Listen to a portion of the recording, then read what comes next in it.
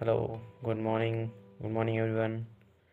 My name is Monu Dixit and I am a BTech finalist student at Netaji Subhas University of Technology, passing mathematics and computing.